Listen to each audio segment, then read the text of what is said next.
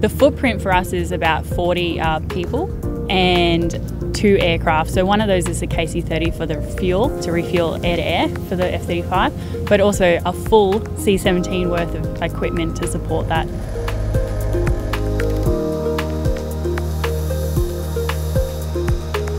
I've led a great team over here for the last couple of years and we're really excited to get back home and show the aircraft to the public. It is a massive leap forward from you know, our current capability.